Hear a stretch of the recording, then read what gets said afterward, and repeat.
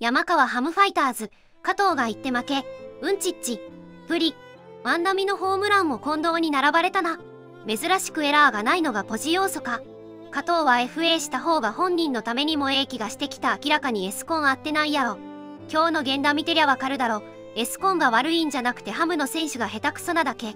加藤がいまいちなら回ったけど守備どうにかしろ。終わり。ハンソンのショートいい動きしてたのにそれ以来一切使われないのかわいそうやな。もう中途半端やめようや。諦めて来季見据えるのか最後まであがいて一つでも多く勝ちに行くのかはっきりしろ。来年のこと見据えるなら野村は外野にコンバートやな。丸がシルエットになって一塁か DH つくかもしれないけどさ。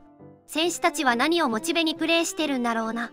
こんなこと言ったら怒られるかもしれんけどなんとなくならまショートスタメンって割と投手陣が早々に崩れとらんか。ゲッツー取れないからね。こんな弱いことある？打たせて取るタイプなのに守備下手。なんでこんなに噛み合わないのこの球団。もう日ハムファンやめるわ。エースのいない球団とか思んないわ。ご視聴ありがとうございました。